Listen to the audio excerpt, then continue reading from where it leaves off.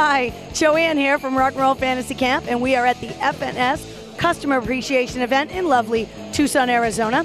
And we're going to take a walk around and meet some of the sponsors and speak to some of the vendors and find out what's really happening here at this Customer Appreciation Event.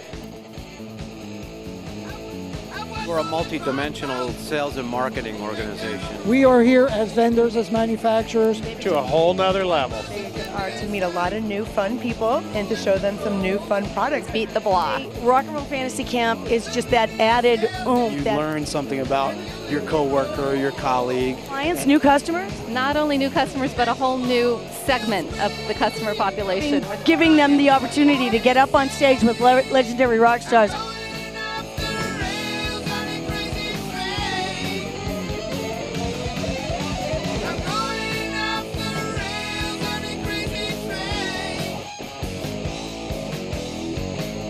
More upbeat. They're here to have a good time, rock and roll. It's a lot of fun and it's a lot of friendly people. So the turnout was even better than what we expected. So it was it was great. I, I don't know what you could compare rock and roll fantasy camp with. I don't think there's any other genre that's like this.